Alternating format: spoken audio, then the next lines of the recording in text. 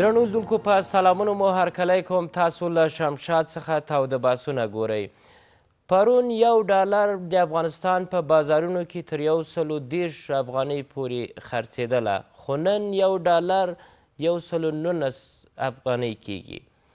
دا په تېرو شلو کلونو کې لومړی ځل ده چې دا ډالر تر خپل حد یا بې اندازې زیات پورته کېږي یا بیه یې جګېږي او افغانۍ په بې ساري ډول خپل ارزښت له لاسه ورکوي. پرون د افغانستان بانک استازو د صرافانو له اتحادیې سره هم کتلې او په دې خاطر چې د افغانیو ډالر ثبات رامنځته کړي د نن شپې بحث مو هم د ډالر او د افغانۍ موضوع ده چې په پروګرام کې را سره درې تنه قدرمن میلمانه دي هر یو په استودیو کې حاجي عبدالرحمن زیرک د شاهزاده سرای مرستیال او ویاند بل مېلمه راسره اقتصادي کارپوه ښاغلی رحمت الله ځلاند او بل مېلمه چې په لاره د را رسېږي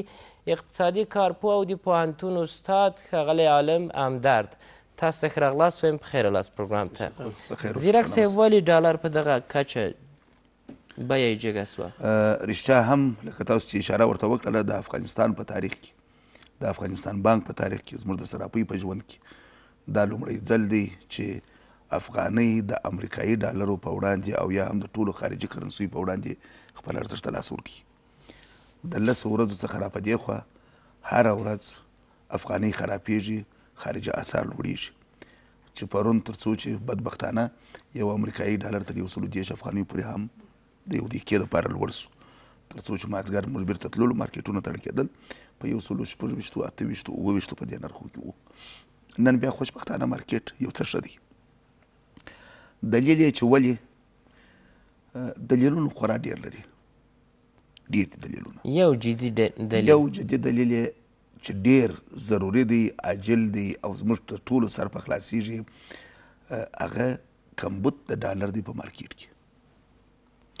زموږ سره شهزاده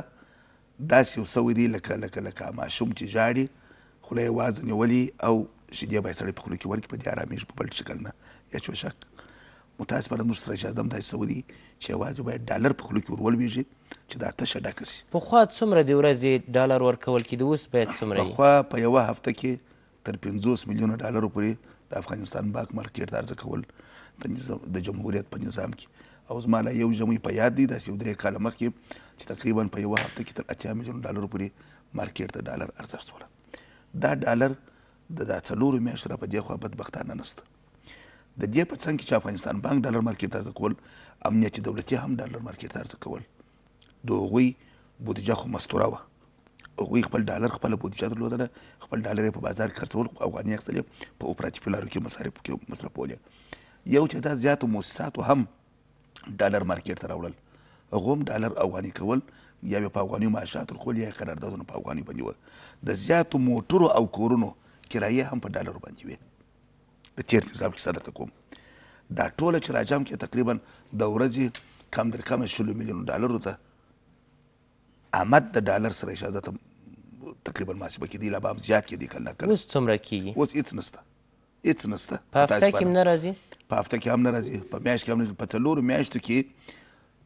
د اسلامي امارت د راتګ سره تر اوسه پورې یو ځل دوه نیم میلیونه ډالر د افغانستان بانک مارکیټ ته عرضه کړي دي او یو ځل هم یو میلیون یا څه اضافه یا کم یا بي بانک ډالر مارکیټ ته عرضه کړي دي تاسو پوښتنه نه ده کړې چې ولې موږ ته اوس ډالر نه راځي چې ولې ډالر نه راکوي د افغانستان بانک څخه موږ د افغانستان بانک سره په څو ځله باندې پر دغه موضوع بحث کړی دی مجلس مور سره کړی دی عین چې ډالر په پنځه نیوي په شپږ نیوي په څلور نیوي په دې وخت کې مرته ولا چې مارکیټ ته ډالر ضرورت دی خپل مشکلات درلودله اما براله خو نو نه ویل چې خاص مشکل لرو ولې ویل چې څه ستونزې ستا ستونزې هم دغه دي چې دوی سره په غذایانو کې زه فکر کوم خپل چې ډالر بني اگر چې موږ ته مشران تر اوسه په افغانستان بانک مشران نه دی ویلي براله چې ډالر نه لرو وایي چې ډالر لرو موږ مارکیټ ته ګورو او ډالر به عرضه کو اخیری مجلس موږ د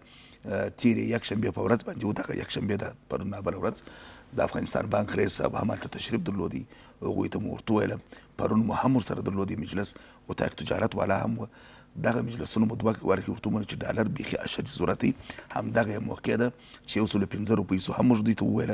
چې یو سلو لس روپۍ سو بیا هم ورته وویل چې یو سلو پنځلس سو بیا هم ورته وویل تر څو چې بالاخره نن هم دغه لحظه چې زه اوس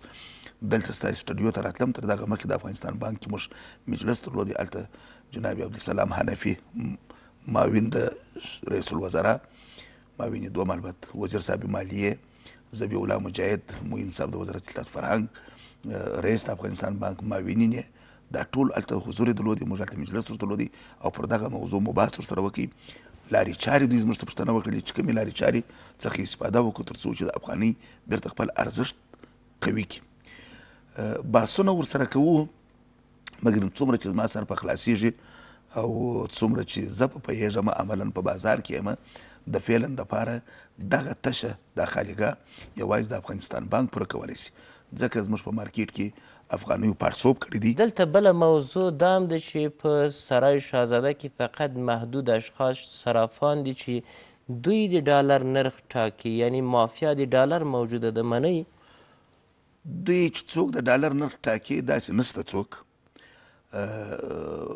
مافیا شته. مافیا داسې مافیا ده چې هغه د ډالرو قاچاق کوي هغه پر نرخ باندې منفي تاثیر په دې کوي چې دغه ډالر موجوده چې یو څه په لاسو کې تبادله کیږي په لاسو کې پاتې دي چې یا زما سره په صیب کې وي یا ستا سره وي یا د کورونو څخه خلک راځي چې وایي افغانۍ ورشه ده یا ضرورت په خاطر باندې خلک میده کوي او یا هم د خارج څخه د حوالو د لارې څخه راځي دغه ډالر چې تبادله کېږي د دغه لپاره هم دوی ملا تړلې ده، قاچاقېږي، قاچاق شته، اما دغه خبره چې یو څو صرافان دي نرخ تاوبالا کوي داسې نشته، زموږ د مارکېټ اصل پر یو اصل د عرضه او تقاضا ولاړ دی، چې تقاضا ډالر ته ډېره وي ډالر په هغه ورځ دا کلونه کلونه هم دا چې نیوکې په دې کېږي چې څلور پنځه نفره دي چې هر څه یې زړه وغواړي نرخ پورته کوي او لاندې کوي دا مسایل څنګه؟ زموږ په سرای شازده کې څلور سوه دوکانه دي په ټول افغانستان کې په زرهاو صرافان چې جواز لري د ټولو سره دقیقه او ثانیه موږ کانتاکت یو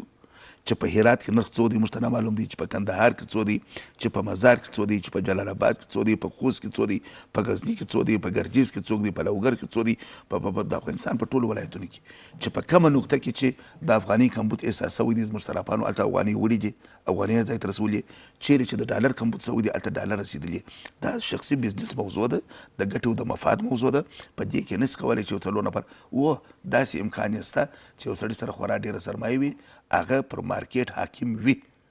داسې شته چې هغوی نقش لري په دې کې چې نن لوړ سي او یا ټیټ سي قیمتونو باندې د خلکو نقش درلود نه درلودي وروستي قیمتونه ټول د کمبود ډالر احساسیږي نن هغه خلک زموږ سره متاسفانه چې په مابینځ کې هم ډیر کم دي چې په خو ډیر برجسته رول درلودي د بانکونو د راپیدا کېدلو سره د هغوی رول ضعیف سوی هم دی اصلا بانکونه خپل په مشکلاتو اخته دي نن بانک هم کم رول نه لري خصوصي بانکونه مې هدف دي یوازنۍ رول برجسته رول چې لري د افغانستان بانک یې لري. انتقاد کېږي چې باید دغه صرافان چې په سرای شاهزاده کې یې دوی جواز ولري د افغانستان بانک نه چې متاسفانه نۀ لري، څومره دا خبره دقیقه ده؟ زموږ په دوکاندارانو کې چې دوکان څوک لري په سلو کې د درو څخه تر پنځه فیصده پورې داسې څوک شته چې جواز د افغانستان بانک نه لري، نۀ موږ اتحادیه پرېږدو، اجازه نور تور کوو او نه هم د افغانستان بانک ځکه د افغانستان بانک هم په کال کې دوه ځله درې ځله راځي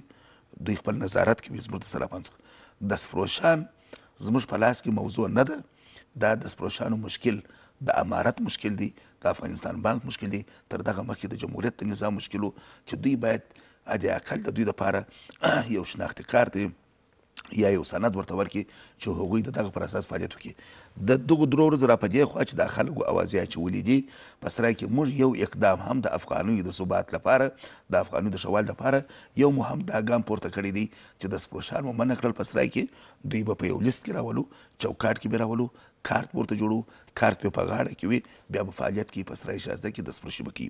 او یو مو هم دا کار کړی دی چې یو تعداد اشخاص و شخصي ګروپونه درلودل د تلګرامو د مسنجرو د واتساپ د فیسبوک څخه استفاده کوله کاذب نرخونه خلکو تور کوله غلط نرخونه کول د خلکو اذهان خرابوي او عامه ذهنیت یې تاوان رسوي هغه مو منع کړله چې ناسوي سوي دي هغه خلک څلور پنځه مو موږ چې وپېژندل هغه مو راوغوښتله تعوت یې موږ ته راکړي د خپل دکان بیل یې راکړي پر هغه یې رانوشته کړله چې زه دا ګروپ بندوم نور دا ډول فعالیت نه کوم شپږ نفره چې د هغوی سره د چا سره اته څلوېښت زره اډمین وه د چا سره پنځه ویشت زره د چا سره جې زره دا مو رسما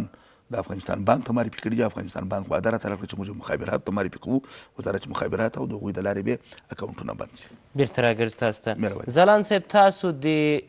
افغانیو د بې ساري ارزښت کمښت او د ډالرو جګي دا موضوع څنګه ولي رامنځته سوه؟ ځیرک صاحب د سرایش زاده ویاند او معاون دی بعضی انتقادونه چې په سرایش زاده وشي هغه خدای کولی هم نشي لازمه هم نه دی ورته د دې افغانیو ارزښت د لاسه ورکولو کې هم سرای شهزاده او هم د افغانستان بانک دواړه مکثر او دواړه د ملت سرای شهزاده کوم مشکل لري او د افغانستان بانک څه مشکلات وو د افغانستان بانک د هغسې کدرونو چې ضرورت دی ورته او په اقتصاد پوه دي د هغو د نشتوالی او د هغو څخه د نه مشورې اخیستن او د افغانستان بانک د کارکوونکو بیځیه غرور دی چې هیچا ته هم غوږ نه نیسي او سرای سزاده په دې کې مطلقاً رول لري سرای زاده سراپان د نرخونه ټاکي دا لکه څنګه چې مخکې زیرک صاحب وویل چې سرای زاده په دې کې لاس نه لري خو وروسته ویلي چې بعضې کسانو اکاونډونه درلودل او خلکو ته یې کاذب نرخونه ورکول یعنې دا په خپله د سرای زاده د لاس لرلو اثبات وړاندې کوي اما تر دې کچې نه دی چې تاثیر ولري ګوره هیڅ امکان نه لري امکان نه لري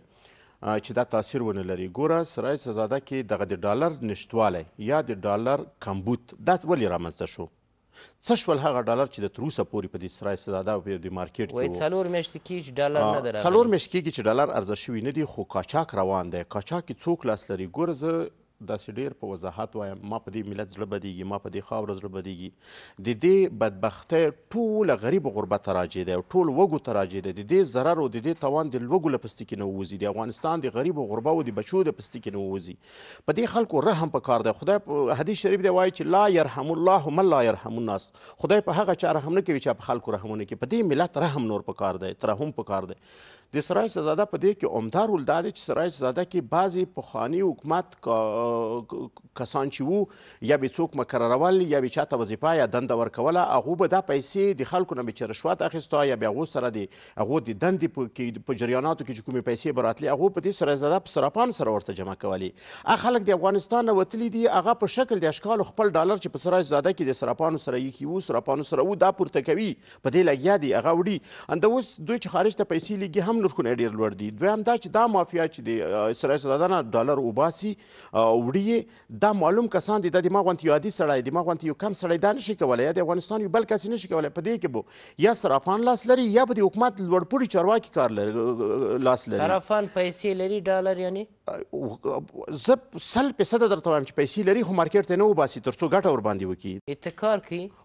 دا مطلقا احتکار دی دا احتکار شتون لري بل واجه دا چې د افغانستان په سرای ساده کې افغانیو پړسوب کړي افغاني د حد نه زیاته شوې ده د دې دوه علتونه وجود لرلی شي یعنی موږ ته داسې اسناد او ثبوتونه نشته چې سړی انتقاد پر وکړي او په هغو باندې تکیه وکړي ولې انسان چې د څه موږ چې څه ګورو د خپل عقل له ادرسه چې سنجوو یا سرایسته زاده ته د بل د چاپ شوی افغانۍ راغلی دی چې د پخوانیو افغانیو سره پرک نه کیږي یا د په هر طریقه چې دی په سرایسته زاده کې افغانۍ دومره زیاته شوې ده چې سراپان هم په دې کې مجبور دي دوی هم یو څه لاس تړل شوي دي د افغانستان بانک ته پکار دي چې په هر طریقه کېدلی شي د سرایسته زاده نه افغانۍ پورته کړي دوی د ډالر عرضه کی وړاندې دی کی مارکیټ ته دوی سره په زخایرو کی ډالر طبیعی دی چه شته که بیا نشته د حکومت ته پکار دی حکومت دا مسولیت لری دا توان د حکومت ځان ته ته واخلی حکومت دی دا توان واخلی د ملت له اوږو د دا بار کوز کی له هره ادرسه چه دی دوی د ډالر پیدا کی او مارکیټ ته دی وړاندې کی سره زده ته. دوه خبرې وې دلته یو تاسو انتقاد د افغانستان بانک باندې درلود امارت اسلامي وایي چې د افغانستان بانک کې څوک چې په راس د دغه بانک کې دغه په اقتصادي مسایلو پیږ ځکه شل کاله په مالي برخه کې کار کاوه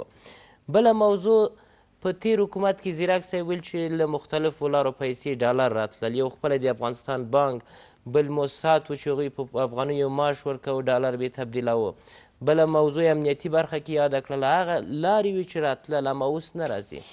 خو دا خو مونږ همدا وایو لکه څنګه چې د ځیرک صاحب ووي دا خبره خو زه هم تاییدوم چې سرایزاده ته باید ډالر وړاندې شي چې په هره طریقه دی دوی باید د دې لپاره ډالر پیدا کړي مونږ یو مصرفي هیواد یو مونږ هر څه اقتصاد څه شی چې لرو دا ټول مونږ تاسو په وارداتو ولاړ دی مونږ صادرات نه لرو چې مونږ افغانې مثلا مثلا لاړ شو خپل شی خرڅ کو بیرته ډالر د دې خاورې ته ور باندې راوړو مو به دې خاور نه ډالر وړو مو په مقابل کې مواد راوړو ډالر وباسو مواد ور باندې راوړو ملا مواد دلته مصرفيږي په افغانیو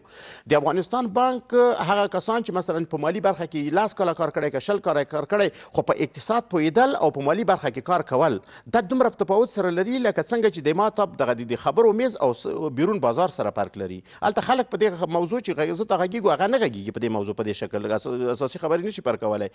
دا کس زه منم چې دغه د دوی سره مالي برخه کې به کار کړی وي خو هغه خلکو افغاني او کلداري مصرف کړي دغه ته چا ډالر نه ورکول چې هغه د ډالرو د ثبات لپاره کار کړی وي دا اوس نو د اسلامي امارت نیمګړتیاو ته چې ګوته ونیسي په دې نیمګړتیاو هم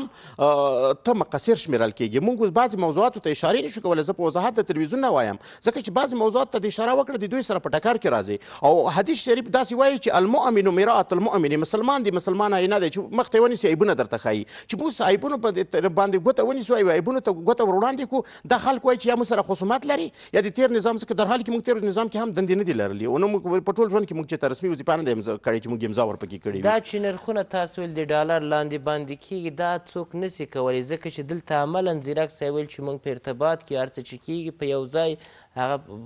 په غیر قانوني نه کیږي ګوره د افغانستان بانک په ټول ژوند کې به دا موافقه له سرایش زاده سره ونه کړي چې د افغانۍ دې د یو سلو دېرشو ته ورسیږي او دوی د په دې نرخ ټاکلو کې د دوی سره همکاره وي دا هیڅکله هم نشي کېدلی او دا امکان هم نه لري دې نه د هیڅوک هم سترګې نه پټوي چې سرایش زاده د دې افغانیو په ټیټوالي او جګوالي کې سل فیصده رول لري او د ټول زما خپله مشوره اسلامي امارت ته دا دی چې په سرای زاده کې لکه څنګه چې دوی ویلي هغه دستپروشان چې هر چا نه کار ورک شوی دی سرای زاده ته تللی دی هغلته پیسې تبادله کوي پیسې ټیټوي او جګوي د دې مخه دې ونیسي هغه کسان چې کاذب نرخونه بازار ته وړاندې کوي او خلک په تشویش کې اچوي او بالاخره د ګاونډیو ولایاتو یا د لویو ولایاتو لکه هرات او مزار او ننګرهار او پکتیا او داسې قندار د دې خلکو ته غلط نرخونه ورکوي هغلته یک دم پیسې پورته کیږي هغه راځي نور صرافانو سره ارتباط لري دغو ته زنګ وایي هغه دغلته په جوش راځي دغه یې په بل شکل وړاندې کوي د داسې کسانو مخنیوی دې په دې شکل وکړي چې داسې قانون دې په تطبیق کې چې د سراپي دې د دې یو څه وخت لپاره وتړل شي چې تر څو دی د خپلې لارې ته راشي په ده باندې فشار وارد شي دویم دا سرایس زاده چې په هفته یا په کال کې یو ځل د دوی نه نظارت کوي مطلقا د هغه هلته یو ټیم وګماري چې په هرې ورځې په دې سرایس زاده دوی نظارت وکړي څه مشکل دی خو یو څو کسانو ته دې معاش ورکړي چې سراج زاده مې نظارت وکړي چې ځیرک صاحب اشاره وکړه چې یو ځل په موږ باندې نظارت راځي یا په کال کې دوه ځله په موږ باندې نظارت راځي یعنی دا معنا دا دی چې یعنی نشته هلته نظارت دی نشتون معنا لري ځکه د ځیرک صاحب خبر نه ما دا اخذ وکړو اوس سراج هغه ته د افغانستان بانک ته پکار دی چې یو څه کسان هلته وګماري چې ترڅو دغه څوک چې نرخونه ټیټوي جګوي دا خلک تر کنټرول لاندې ونیسي دویم دا په هر امکاناتو چې کېدلی شي ډالر د مارکیټ ته عرضه کړي طالبانو ته پکار دی چې مثلا د هر مملکتونو سره چې دوی ښه روابط لري مثلا د قطر سره لري مثلا د پاکستان سره لري مثلا د نورو ملکونو سره به ولري ډیر ملکونه نور سره چې هغه سره د دوی روابط ښه دي په هر طریقه چې د هغه سره دغه یو تعامل وکړي د هغه نه د څه خریداري وکړي یا د هغه سره د ډالر د تر واخلي تر څو مارکیټ کې ډالر زیات شي یو څه پور دی واخلي قرض دی واخلي خیر د افغانستان د پرولې چې ټول ملت خو نه تبا کیږي کنه ډیر تر هغه درنو دونکو د ملرو لمون سره پاتې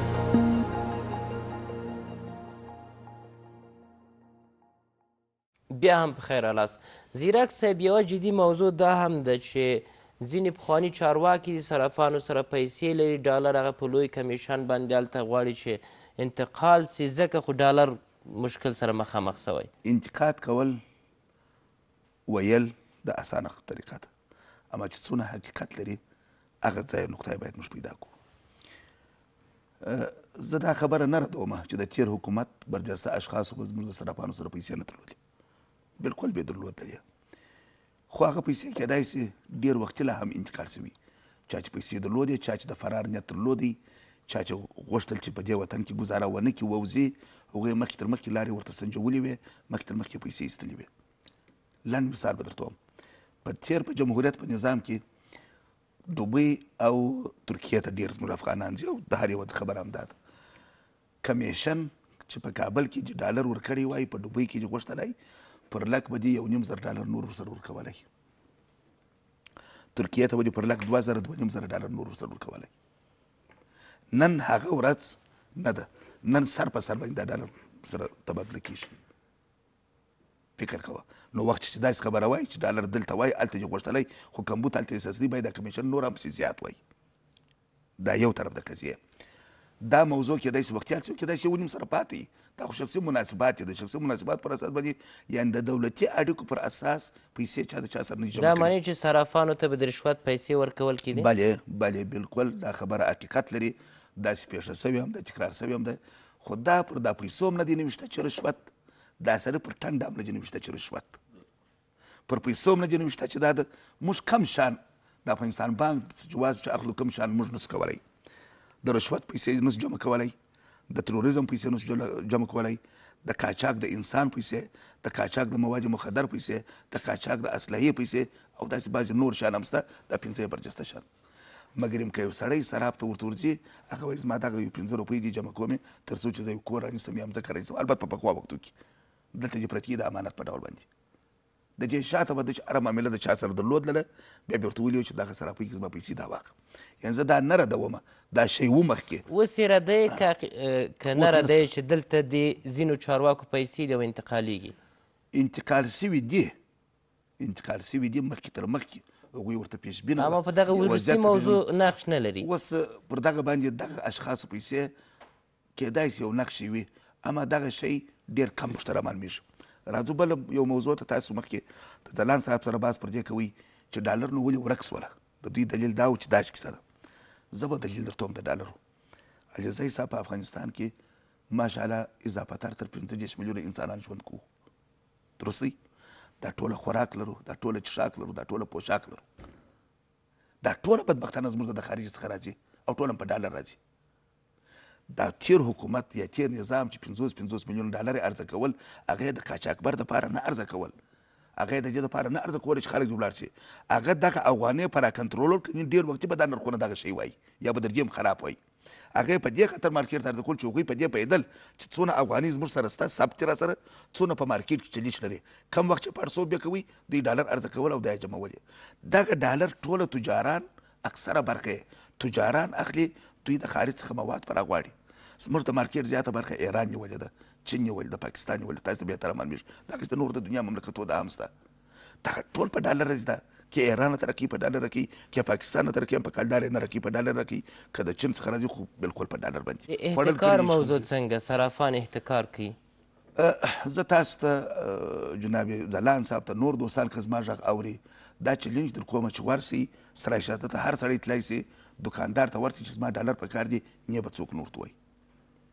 دا احتکار هغه وخت کیږي لکه د منډي دکاندار چې دروازه خپله یې وتړل او لاړی چې زیان نه خرڅوم نور دې ته احتکار وایي احتکار دې ته وایي چې ته د بازار یو شی جمع که یو بل ځای ښخ که ګدام یې که وې ساته چې نرخونه لوړ سول دا مارکیټ ته راوست دې ته احتکار وایي اما موږ خو هیچا ته نه نیولي و په نرخ د ورځ را سره مراعات که څه چې نرخ وي بولۍ سته ځای سته نرخ معلوم دی راز په هغه نرخ هر څه چې پکار وي تر خپل امکانات پورې البت البته امکانات پوری هر څه راپې درکې حتی د سپرو شي درکې درته بنان اعتقاد اته نشته د ډالرو کمبوتي په څلور میاشت کې بار درته کې چې موږ خوراک څښاک کړی دي پوشاک مو کړی دي دغه سراغلي دي په دغه ډول باندې بل خبره دا ده چې موږ په سرای شازده کې تل کوشش کړی دی زموږ ګټه د افغاني په ثبات کې ده په دغه پروسه کې چې د شپږ نیوي څخه د صرافان به زما غږ اوري خلک به هم خبري د شپږ نیوي څخه چې تر یو سل دېرش ډالر تلل دي زیات ضرر زموږ صراف ته رسېدلی دي حتی دغه اوس په بانک کې زما یو صراف راته وویل چې په شپېته زره ډالر کې مې دېرش لکه افغانۍ تاوان وکړي بل ته وایي په دېرش زره ډالر کې مې څومره ته بل وایي په لک ډالر کې مې مثال ته خبرې دېرش لکه څلوېښت لکه افغانۍ تفاوت راغلی دی دغه نرخ څوک ټاکي د ډالرو د جګېدا او د نرخ عرضه او تقاضا ټاکي بولۍ سته عرضه او تقاضا که د ډالر ډېر مارکېټ ته عرضه کول په مارکېټ کې ډالر ډېر وه نرخ په هغه ورځ راټیټ دی که نه وه ورځ یې داسې وه لکه پرون ځلاند صاحب د افغانستان بانک هیڅ وخت دا نه مني چې یو څلور دېرشو ته دې ورسي بالکل یې نه مني نه د افغانستان بانک مني نه موږ منو نه پالیسي مني په افغانستان بانک کې هم پالیسي اما عرضه او تقاضا پرون ایجاب عرضه او تقاضا بله پرون عرضه او پرون ډالر ته ډېر ضرورت ډېر خلک ورخطا سي وه یو تعداد هغه اشخاص چې ګروپونه ما در یاد کړل چې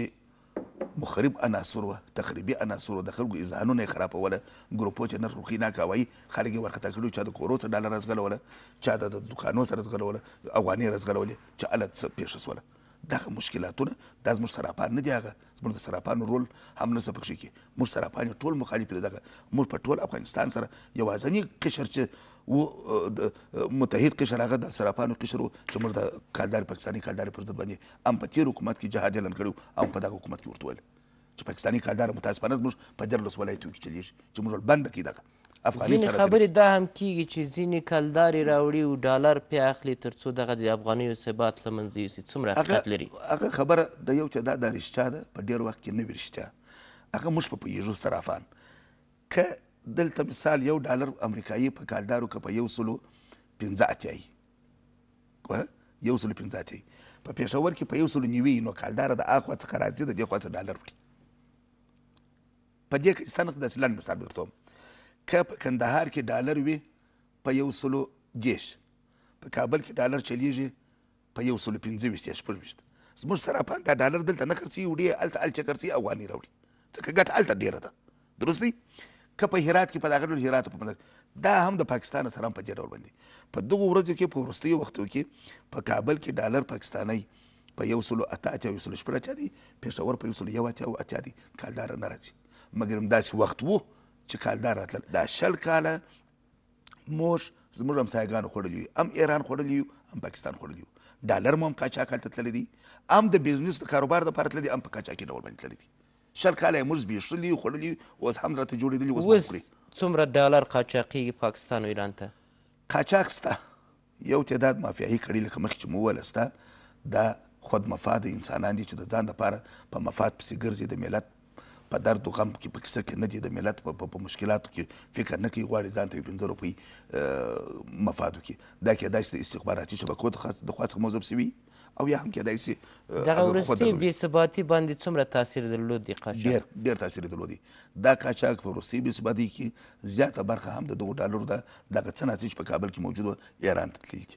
زموږ سره موثق په دې باره کې راپورونه سه په دې باره اما خبره دا ده خبره چې ده خبره دلته ده چې موږ استخبارات لرو موږ کشفي ارګانونه لرو د افغانستان بانک پین تر اکا لري استخباراتي مدیریت دی دا باید فعال اوسي دا باید وګرځيږي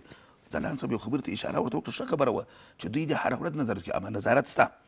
ما د کم نظارت ته درتول چې دوه درې وره په کار کیږي هغه عمومي چک دی نظارت دی چې ام دې پکښې کې جواز کتل کیږي ام دې راپورونه کتل کیږي ام دې کاروبار کتل کیږي نور موږ په پنځلس ورځو کې زموږ خدمات پولي پنتراکا په نامه یو دفتر دی استخباراتي مدیریت دی د افغانستان بانک په پنځلس ورځ کې د خپل ټول کاروبار راپور ورکوو په میاشت کې مو صرافي یو خدمات پوری دی صرافي ده په میاشت کې مو ټول راپور ورتور کی مګر موږ خو دا غواړو چې د افغانستان بانک وګرځېږي شام نرخ هم کنټرول کړي چې نن دلیل څه شی و چې پیسو لږ ډالر دا ګزارش ورکړي افغانستان بانک ته او افغانستان بانک باید غونه فعالې په عاني واید کې باید اعلان کړي چې درې میلیون ډالر مارکیټ ته عرضه کوم مننه بیرته راځي ځلان صاحب خبرې مو واورېدې څه لرئ ما د دې نظارت خبره وکړه د دې پنتراتا د ریاست په هکله ما مخکې هم غوښتل چې درته خبرې وکړم چې د هغه فعالیت بیخي په دې وختو کې ډېر کمزوری دی یو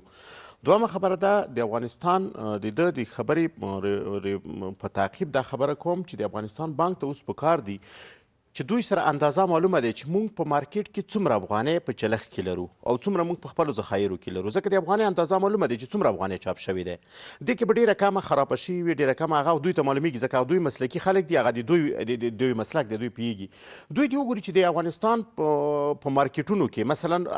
د ټوله سلسله دوی ته د مهمو څو سرایونو نه معلومیږي لکه د هرات او د مزار او د قندار او د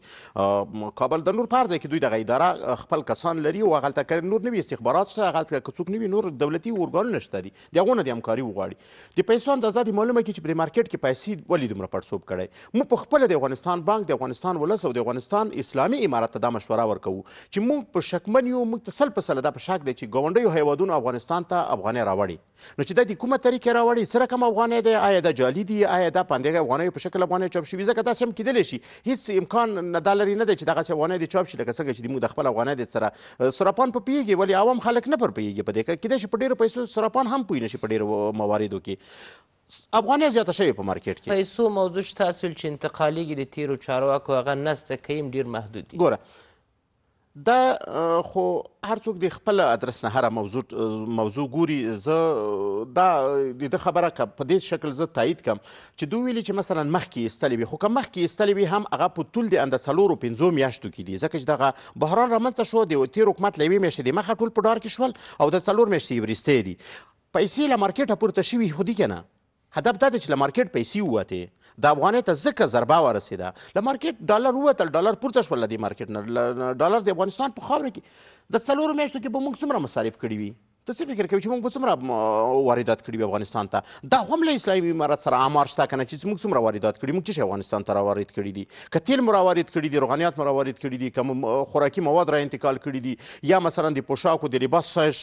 شیان مو را انتقال کړي دا خو نو اندازه په ګمرکاتو کې شته دا هیڅ شي دي بل نه پټ نه دي. شاياد خپرونکي چې و هغه شناسايي سول معرفي سول هغه مشخص سول چې څوک دي. خو دا خو ما مخکې ياده کړه چې دا ډېر يو ښه کار شوی دی د دې کار زه طرفداره يم او دغه کسان نور هم شته داسې نه دی چې يو څو کسان دوی پېژندلي دي دا د په کار دا دی چې مو د وزارت مخابراتو سره افغانستان بانک په همکارۍ دا موضوعات کنټرول کړي هغه ماشینونه چې پخوا یې تلیفوني مکالمې کنټرولولې یا د نور شیان کنټرول بورس هم په امنیت کې فعال دي د طالبانو سره شته په لاس لاسرسی ورته لري دوی د کوشش وکړي چې دغه کسان نور هم شناسای شي نرخ سره سره ټاکي هغلته عرضه او تقاضا چې دوی ویلي چې ټاکي هغلته بولي کېږي بلی څوک وي صرافانې کوي دې کې د غټ سرپال سل په سلو کې لاس لري دې نه دې هېڅوک سترګې نه پټوي ځکه نرخ ټاکي کې هلته بولي کېږي یو سړی یو شی په کم نرخ غواړي بل په لوړ نرخ غواړي چا چې پیسې ډېرې دي هغه په داسې یو نرخ غواړي چې تر څو د ده ته مارکیټ دروازه خلاصه شي هر څه په لاس ورته ورشي نو دا په خپله دوی ټاکي د افغانستان بانک ته پکار دي چې په دې مارکیټونو کنټرول راولي افغانۍ انشاءالله یو څه ناڅه به کنټرول شي د پرون هم چې د څه کسان نیول شوي د افغاني چینونو سراکوزه راولوېده دا د یو څو کسانو د نیولو برکت و که اسلامي امارت په دې برخه کې جدي او کوټلي ګامونه وانخلي او د سراج زاده سره همکاري ونه کړي او ډالر ارزانه کړي لري نه دی ما بل ځم ویلي اوس یې ویلي چې دا افغانۍ تاسې په څلوېښتو پنځوسو کې ونه لیده ده دلته د موضوع د اعتکار موضوع یاده سو چې هغه هم صرفا نه کوي رد سو په دې برخه کې بل موضوع ځینې وخت داسې کیږي چې د ډالر له نرخ جګېدو سره په عادي مسایلو هم تاثیرات لري څوک په لاس ځینې شیان خرڅوي یا یو عادي کس یې هغه ته وایي چې ولې دغه ګرانه سوه حتی د دې موټر د تګ راتګ نرخ وایي ډالر قیمت سوي دي. هر وخت چې په کومې منطقې کې کنټرول یا د قانون نشتون یا د قانون نه تطبیق په نظر کې ولیدل شي دا شیان ټول شتون لري د احتکار موضوع ځیرک صاحب رد کړه زه دا منم چې ادوی ته چې تر کومه معلومیږي نه به وي دغسې خو که د افغانستان له ملت پوښتنه وشي، د افغانستان له ولس پوښتنه وشي، دغه شتون لري. که چېرته د احتکار موضوع نه وای، طالبانو خپل اعلانونه وکړل، په کورونو کې په میلیونو ډالر په بکسونو کې خلکو سره ونه نیول. دا بیا احتکار نه و، دا بیا څه شی و؟ دغو ډالر چېرته وړل، چېرته جګ کړي و؟ حتی په ارګ کې ولیدل چې ډالرو کپۍ پرتې دي. دا ډېر زه نه بحث نه کوم چې څومره حقیقت دی او څومره غلطه دی، ولې د دوی له خولې. صرافانو کې رد کړه، سرای شهزاده کې دا مشکل نشته. یعنې معنا دا که یو صراف نه مثلا زه یو شخص یم، زه څه هم د سرای شهزاده نه ډالر راپورته کوم، کوم دا ډالر ځان سره ساتم دا احتکار شو کنه شو خو دا خو احتکار شو تاثیر خو په مارکیټ لري کنه مثلا یو سراب خو په دې کې مقصر نه دی په دې کې پیسې دار خلک هم مقصر دي چې له مارکیټ ډالر وباسي هیڅ چاته د افغانستان ټول ولس نه زغه کوم چې هر چې سره ډالر دی مارکیټ ته دی وباسي چې ترڅو د افغانۍ د ثبات لپاره همکاري وشي ترڅو د خاورې د غریب غربه سره همکاري وشي حکومت ته پکار دي چې په هر طریقه وي دا ډالر مارکیټ ته وړاندې کې دوی ډالر لزان سره لري دوی هغه مخکې مې هم تکرار کړه بیا هم وایم چې دوی کولی شي چې د تاوان ځان ته راجع کړي او دا ډالر مارکیټ ته وړاندې کړي افغانستان بانک وویل چې موږ د افغانیو د ډالر د ثبات لپاره ناستې لرو او کوشش کوو چې دا ثبات په خبرو هیڅ شي هم نه کیږي په خبرو هیڅ هم نه کیږي په دې دې نه خپه کیږي دا په علمیت کیږي دا په پوهه کیږي او د دې لپاره یو پلان طرح کول پکار دی او د دوی سره باید یو پالیسی شتون ولري هغه پالیسی له مخې مخکې لاړ شي اوس دوی ته په دې وخت کې پکار دی دا زه کلکه مشوره ورکوم لکه انور الحق هدی داسې یو څوک د افغانستان بانک له مرک... غته راولي راس ته راولي دغه د طالب لپاره هم په ګټه دی دا د دوی لپاره په ګټه نه دی چې خپل اشخاص راول خپل اشخاص مقرر کړي څوک تاسو سره جنگ کړي تاسو سره په جهاد کې مخکې تللي دي هغه ته دی وظیفه وي او څوک چې په دې برخه کې پیږي هغه ته دی نه وي قران وایي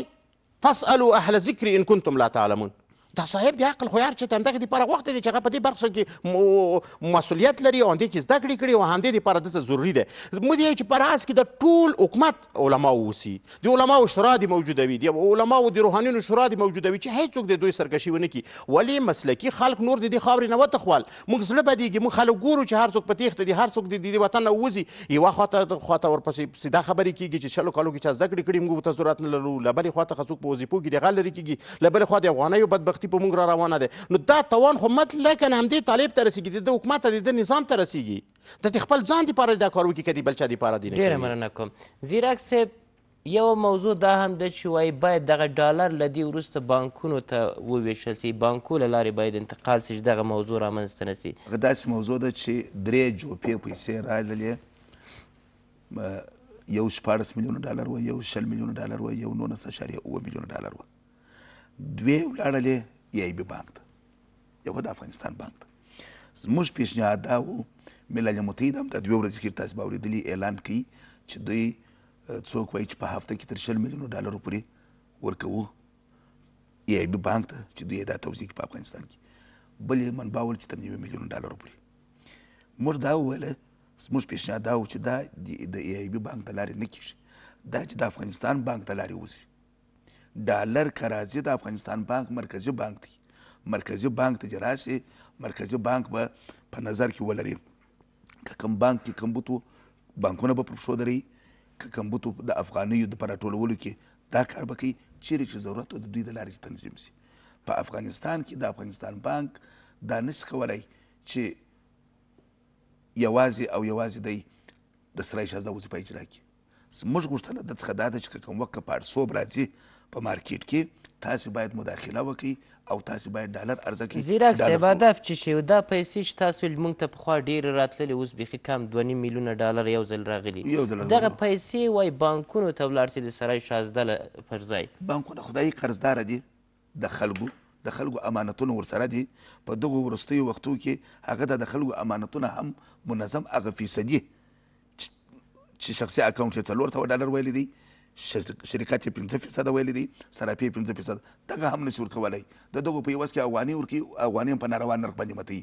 شخصي بانکونه یې بیخي نشي کولی که چیرې دوی دغسې یو سیستم ورته جوړ کړي نتیجه ورکوي؟ دا د بانک د بقا لپاره د بانک د اعتبار د په لاس راوړلو لپاره یو مثبت قدم دی،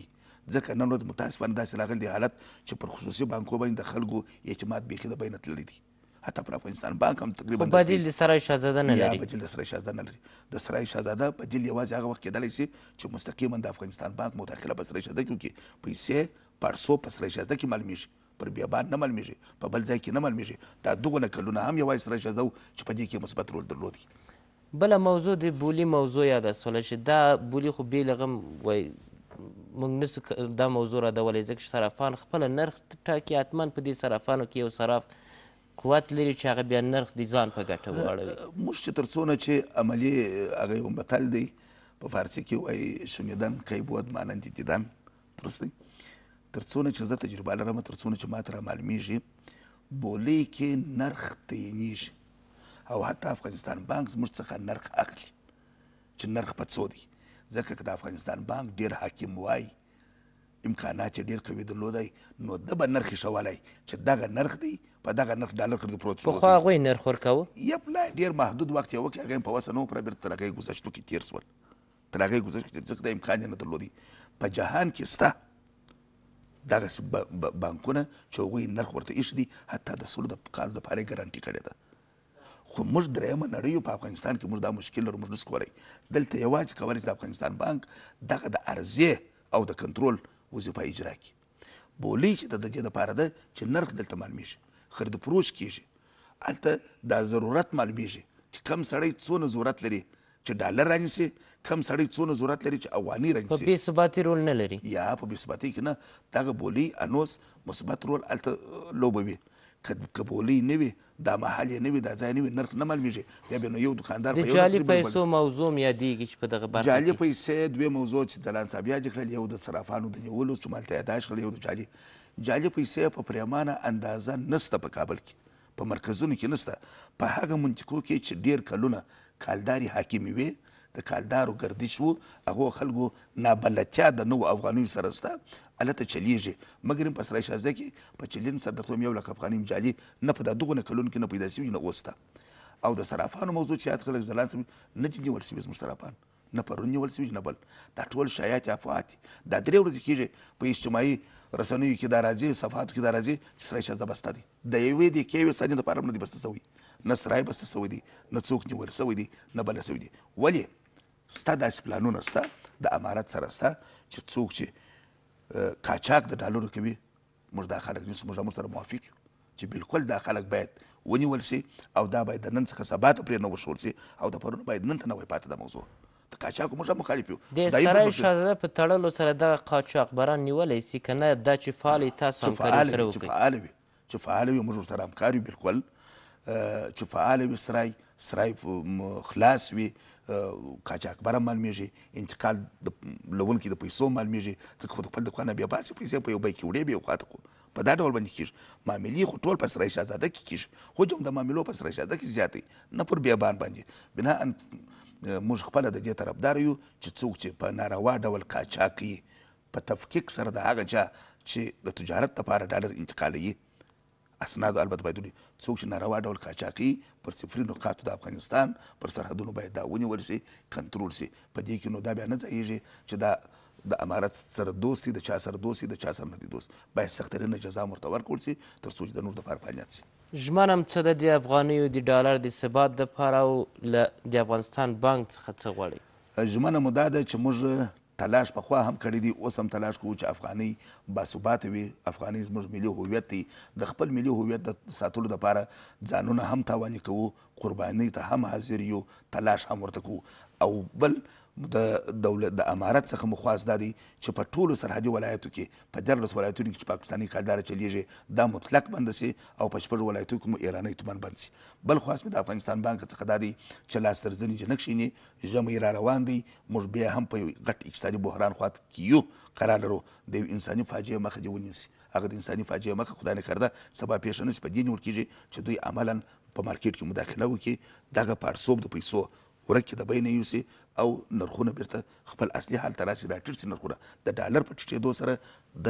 ارتزاقي موادو نرخونه هم کنټرولېږي بناء ډالر یوازې د افغانستان بانک سره نن دا ډېر امکانات سره سره چې مارکیټ ته ډالر سرای شاهزاده به په دې کې لاس نه لري سرای شاهزاده به ټول چې موږ یا سرای شاهزاده موږ مکلف یو موظف یو وظیفه یې خپل بولو چې د افغانستان بانک سره همکاري وکړو د افغاني د ثبات لپاره ولې د دې په څنګ کې مو د جامعه جهاني څخه هم خواهش دا دی چې زموږ هغه کنګل شوې زیاتې پیسې چې تر نیم میلیارد اضافه ډالر چې دوی کنګل کړي دا د افغانستان د ملت مال دی دا د دا, د دا په یو نظام په یو شخص پورې اړه نه درلوده دا دې راته ازیات کړي چې دغه یو وخت په سخترین حالت کې موږ قرار لرو د هغه په ازادېدو سره زموږ بانکي سیستم فعالېږي زموږ بانکونه بیرته پر حاله کېږي او بانکونه کولی شي چې بیرته خپل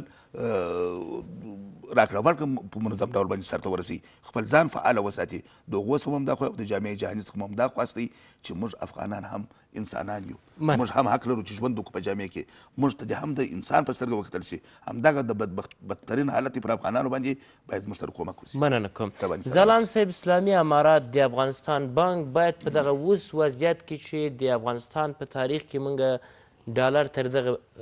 کچې پورې بیه نه وه لوړه سوې او د افغانیو ارزښت نه و له منځه تللی، په دې باندې څه باید وکړي؟ لومړیتوب باید جدي چی شي وي؟ لومړی خو زه د ځیرک صاحب یو څو خبرو ته راځم دا خبره ډیره ضروري ده یو خو دا چې ډالر د خصوصي بانکونو له لارې بازار ته عرضه شي دا صحیح نه دی د زیرک صاحب دې خبرې سره موافق یم چې د افغانستان بانک کولی شي چې دا ډالر مارکیټ ته عرضه کړي د هغه پړسوب د افغانیو کم کړي هغه له ځانه سره جګې کړي له مارکیټ نه دا تاثیر غورځولی شي ولې دا افغانۍ که د خصوصي بانکونه اخلي د بیرته مارکیټ ته راځي دا افغانۍ ځکه دوی هغه وخت کې ډیر وخت اندوه سره چې غواړي ډالر له بانکه واخلي د په افغانۍ تبادله کوي دغه مشکل شته بل دوی چې سراپانو نیولو موضوع یې وکړ وویلې د سراپانو نه خپله ځیرک سي ویلي چې مو بعضې سراپان ورته معرفي کړي دي لیست مو ورکړی دی هغو اکاونټونه به د هغه له لارې بند شي د مخابراتو له لارې یعنې معنا دا چې دوی ته ورمعرفي شول بخښنه غواړم بخښنه غواړم دا کسان چې ورته معرفي شول دا په خپله مجرمین دي دغو یو جرم ترسره کړی دی دا د افغانستان د اوسنۍ افغانۍ په په ثباتیه کې رول لري دا خو طبیعي خبر دی که نیول شوي نه دي خو نیول کیږي یعنی د سراپانو نیول دا باید سل فیصده د دې کسانو وشي او دا د دې باندې باید کنټرول وي دا بله موضوع بل د 9.5 میلیارډ ډالر موضوع زیرک صاحب یاد کړه دا 9.5 میلیارډ ډالر چې دی دا د افغانۍ د ثبات لپاره موږ غلطه په شکل د ضمانت حالت دغه پرتې پیسې وي دا پیسې زه د خوشې کېدو سره یې سل فیصده موافق یم ځکه دا د افغانستان د ولس حق دی دا د افغانستان د ملت حق دی او دا د افغانستان د خلکو پیسې دي او دا د افغانستان د خلکو ته د په هغه شکل چې د خیرات پر مو تراکوي نه دي راکوي بلکې دا د یو منظم سیستم له لارې چې تر څو دغه پیسې بیرته په دې شکل لکه نه پخواني او ډالر چې موږ په مارکیټ کې لرل قاچاق شول د مارکیټ ووتل دا پیسو ته هم زه همدا رقم ته تشویش لرم که په اوسني وخت کې دغه افغاني ډالر راشي د مارکیټ ته دا به په دې شکل قاچاق شي لکه دا نور موږ به بیا د یوې بلې بدبختۍ سره لاس او ګریوان شو. اوس هم یو څه امید لرو چې نه شهره پنځه میلیارده ډالر موږ لرو. که چېرته دا هم راشي په دې شکل قاچاق شي د دې مارکېټ نه دا نو بیا د موږ دپاره بیا هېڅ د خلاصون لاره نه پاتې کېږي. چې دا پیسې باید خوشې نه شي. دا پیسې که خوشې کېږي خوشې دې شي ولې د افغانستان د حکومت په واک کې دې په دې شکل ورکړل شي چې دا پیسې مارکېټ ته په دې شکل رانه شي لکه کومې ډالر چې د اوس مارکېټ کې وو او مارکېټ نه پورته شول. ځیرک صاحب خو د خپل د سراج زاده نمایندګي کوي او دا هر څوک د خپل ځان جرمونه هیڅ کله د ځان غلطۍ چاته نه وایي ولی ځیرک صاحب سره زه په ډیرو مواردو کې موافق یم په ډیرو کې نه یم موافق مثلا د افغانیو پړسوب یوازې دا نه دی چې خالي افغانۍ زیاته شوې دا غلطه شته په دې مارکیټ کې پیسې شته دا به یو وخت ثابت شي وخت کې به په ثبوت ورسیږي چې ځلان دا خبر کړی و د دې میز نه او دا په ثبوت ورسیده یو دوامه خبره ده د پیسو په کاچا کې د ما غونتی عادي سړی لاس نشي لرلی که ما غونتی سړی لاړ شي مارکیټ ته مثلا نن یو لک ډالر خلم سبا دوه لکه خلم بل څه 50000 خلم ټول صرافان متوجه کیږي چې ځلاند په نوم کس راغلی او افغانۍ عرضه کړې ډالر یې پورته کړل دا ډالر چیرته وړي دا ډالر چې د قاچاق کیږي په دې کې صرافان رول لري ځکه دا پیسې صراف اخیستل شي صراف کولی شي چې وتوي چې زه په بانک اعتبار نه لرم اوس خو دا موضوع هم دوی ته ډیره یوه خامکه په لاس ورغلې چې په خصوصي بانک اعتبار نه لرم خپلې پیسې مې دي په بیک کې کور ته وړم څوک ورپسې دي تر کوره پورې چې څومره پیسې یووړي څومره یې بېرته راوړي په دې قاچاقبرۍ کې په دې قاچاق کې د سرای زاده سراپان لاس لري دینه د هیڅوک سترګې نه پټوي د ډالر له مارکیټه په همدې باج ورک شول په تیر نظام کې د افغانستان د پارلمان معاون نوم به یادول به نه کوم خو دومره بویم چې ماوین هغه په دې کاچاک د ډالرو کې لاس لرلو ما ته د جرلابات نه کسان راغله چې د پلانکي سره تشناخ لري لږ مونږ ورسره کېنوه چې موږ پاکستان ته مچ ظالمانو ده خو په افغانستان ته ته باید تاسو امر سره ملاتړ وي دا سړی دا کسب و کار کوي چې دا همدغه کسب و کار کوي دا هغه سر سړی څوک هغه سراپ کې سره زده کې سراپي هم لري دا کسان خو په دې کې هم دا رول لري هم دا په دې شي کې انوال دي ډېره مننه کوم تاسو یو موضوع راي د شپزه د افغانستان د افغانستان بانک ته د غوا خبره باید وکم چې پاتې نشي په لنډه کې د افغانستان بانک د خپل هغه د پنتراتاد کوم ریاست چې دوی لري د هغه ریاست له لارې کوشش دی وکړي چې کنټرول راولي کوشش دی وکړي چې ډالر مارکیټ ته عرضه کړي په هر طریقه چې د ترڅو په مارکیټ نه دا کنټرول بیرته دوی حاکم شي او دغه نرخونو ټاکلو کې هم باید دوی رول ولوبوي که موږ په دریم نړۍ هیوادونو کې راځو هم دوی مسولیت لري چې په دې وخت کې بدبختی را روانه ده افغانستان د یو غټ بحران سره مخ کیدونکی دی دوی باید نرخ د افغانیو خپله مننه وټاکي. زر ګل ځلاند استاده صاحب ځیرک صاحب له تاسو نه درنولدونکو د شمشاد رسالت دا دی چې حقایق په بی طرفانه شکل تاسو ته در ورسوي موږ د هر چا نظر ته احترام لرو درنولدونکو تاوده بحثونه پر همدې ځای سر ته رسیږي د خدای په امان له لیدلو مو مننه!